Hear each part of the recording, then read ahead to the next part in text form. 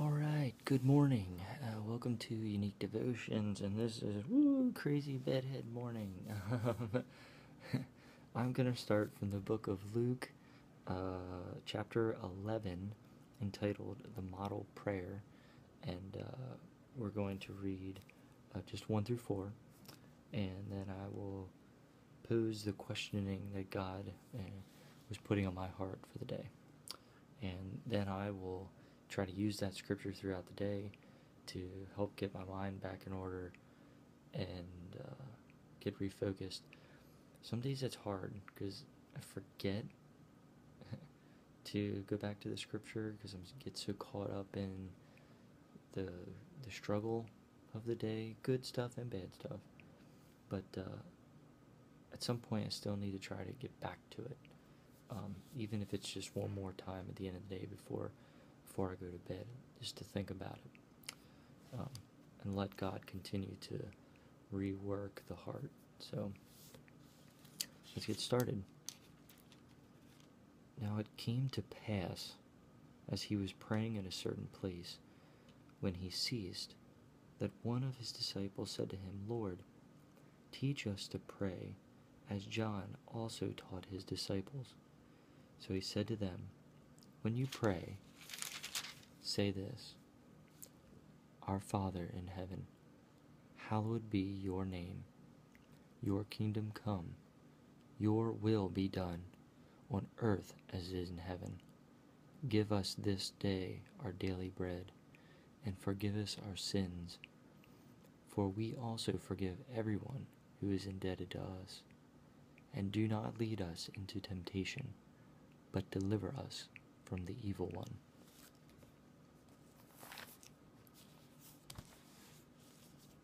You've never had a personal prayer, that is a good one to start with. Even if you don't fully understand it completely, um, that's kind of the point of prayer, is to gain dialogue with the God of this universe and beyond, the gain uh, communication with the Holy Spirit that He's given to us to help guide and get that clarity. Now, I have a personal prayer um, that pops up every morning, and some mornings I read it, some mornings I just use a devotional. Um, sometimes I neglect it because of time, which I shouldn't do, but this is what uh, God had put on my heart. When was the last time you ask Jesus to teach you to pray, He will open your entire being to your own personal prayer. For the scripture that we just read, do you truly believe these words? Slow down and really take it in. Now I say, do you truly believe these words?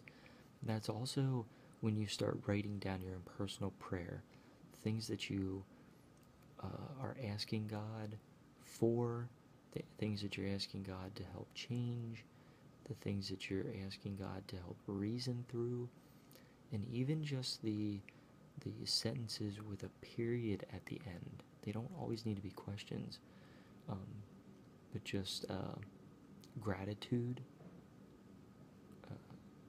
dialogue in the form of gratitude, um, just dialogue in the form of he's your buddy, like say hello.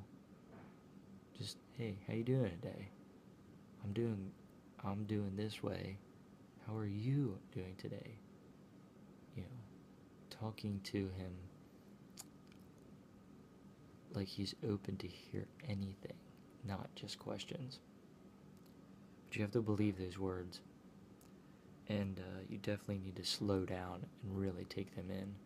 Sometimes even your personal prayer, you, would get in a, a, revolving door cycle that just kind of gets monotonous, and you tend to forget a little bit of the depth of why you uh, came up with that prayer, why you were shown that prayer, and uh, you need to refocus, slow down, relook at the words that you've uh, hopefully written down and uh, continue to reflect. So, on that note, uh, just something to think about your own personal prayer today. If you don't have one, maybe it's time to start. Um, not just something you keep in your mind, but something you actually write down on a piece of paper that you can pull out of your pocket, pull out of a drawer, constantly come back to it, even if you use it as a marker in your Bible um, for where you're at. Something that you can constantly put in your mind. Uh, questions won't get answered if you just and ask a question, and uh, dialogue won't happen if you're just doing it because you're supposed to do it. It needs to be real, it needs to be heartfelt. On that note, I hope you get all the blessings you deserve today, and doubly much, all the blessings you don't deserve. Until next time, enjoy coming up with your own personal prayer.